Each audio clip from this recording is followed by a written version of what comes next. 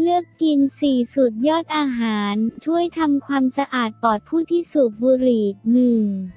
เมล็ดถั่วบราซิล มันอุดมไปด้วยวิตามินอ e ีและซีลีเนียม ซึ่งเป็นสารที่ช่วยลดความเสี่ยงของมะเร็งต่อมลูกหมาก มะเร็งปอดโรคหัวใจและหลอดเลือดอุดตันสอง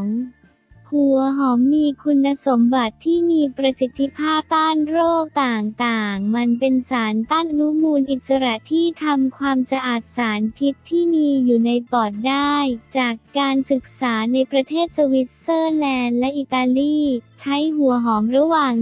1-7 หัว ต่อสัปดาห์ช่วยลดความเสี่ยงของมะเร็งลำไส้ใหญ่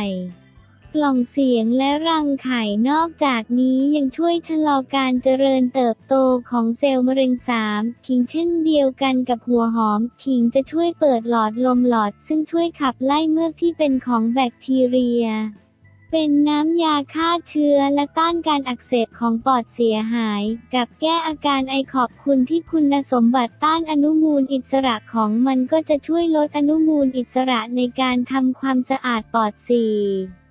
เกรปฟรุตหรือส้มโอการศึกษาพบว่าการกินส้มโอช่วยลดความเสี่ยงของโรคมะเร็งของหลอดอาหาร และส่วนบนของระบบทางเดินหายใจขอบคุณลิโมนอยที่มีสารต้านอนุมูลอิสระเป็นน้ำยาฆ่าเชื้อและต้านเชื้อแบคทีเรีย